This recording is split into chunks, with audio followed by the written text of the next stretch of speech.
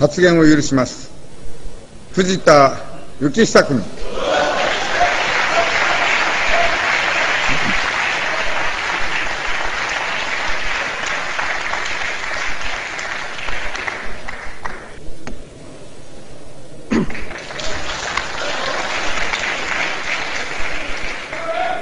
昨年11月の参議院本会議において、テロとは犯罪ですか、それとも戦争、つまり武力戦争ですかという私の質問に対し、福田総理は、典型的なテロ行為は犯罪であるとした上で、911テロ攻撃は高度の組織性、計画性が乱れるなど、武力攻撃に当たると答えました。テロという犯罪が組織性、経済、計画性を持って行われた以上、誰がどのように犯罪を行ったかの裏付けに基づき戦いを進めるべきと思われますが官房長官いかがですか？またこの戦争は一体誰の誰に対する戦いなのか明確にお答えください。そもそも事件後7年も経過していながらアメリカ司法省はビンラディンを公的に告発する手続きを取っていません。また FBI のホームページは世界の最重要指名手配者の一人であるビンラディンの容疑としてタンザニアとケニアの米国大使館爆破事件のみを挙げ9.11との関わりを挙げていません。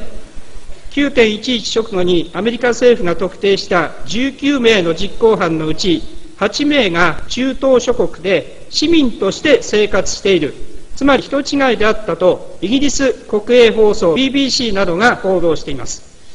実際 FBI のミューラー長官は実行犯とされる19人が実行したという確たる証拠を見つけることができなかったと2002年に認めています。テロとの戦いの原点であるこれらの基本的事実を日本政府としても米国政府に確認すべきですがいかがですか？もし確認ができないならば普及の自由作戦に関連する海上阻止活動への協力の根拠に欠けるということであり、一旦補給支援活動などを停止すべきではありませんか、官房長官、いかがですか？日本政府はテロとの戦いに参加する正当性の一人として、日本人24名が犠牲になった、テロとの戦いは決して他人事ではなく、日本も当事者なのですと繰り返しています。しかし日本政府はその24名の犠牲者のご家族に対して、心の通った対応をほとんどしていません。4月の外交部委員会で、木村副大臣は、事故の原因について説明を受けたという日本人遺族からの要望はないと答弁していますが、私がお会いした家族の皆さんは、ぜひ希望したいと言っております。そもそもそうした仕組みがあるということをご家族に対して紹介するのが日本政府の責任ではないでしょうか。今からでも調査委員会にそうした申し出を行う意思があるのかどうか、外務大臣の見解を伺いたい。官房長官、本年6月11日に米国会員で以下の決議案が可決され、司法委員会に付託されたことをご存知ですか。第2条、侵略戦争を不正に正当化するため、イラクが安全保障上の脅威であると誤った宣伝を行い、2001年9月11日の攻撃を不正に組織的に犯罪的な意図を持って利用したこと。第3条、戦争のための間違った論拠を捏造し、イラクが大量破壊兵器を所有したと、米国民と国会議員をミスリードして信じ込ませたこと。第8条、国連憲章化して主権国家イラクを侵略したこと、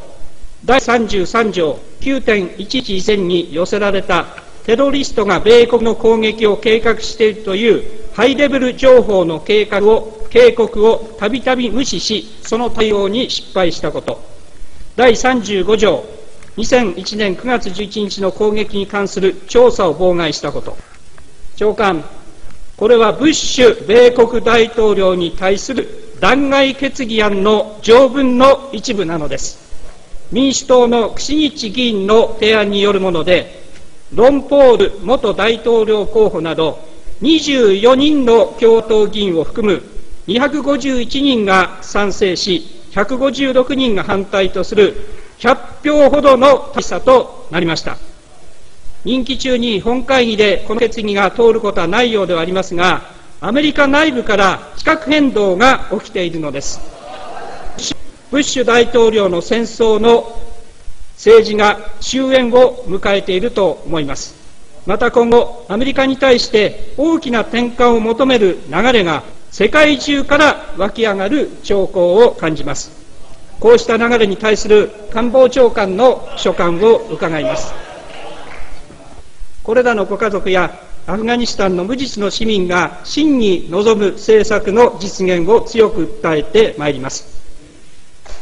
官僚答弁ではなく、ご自分の言葉でお答えいただくことを、3人の大臣にお願いをいたしまして、私の質問を終わります。